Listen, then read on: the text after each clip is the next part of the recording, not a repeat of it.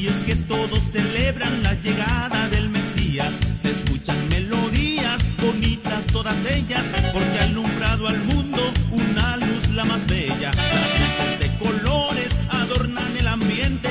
La causa la conocen porque es muy evidente.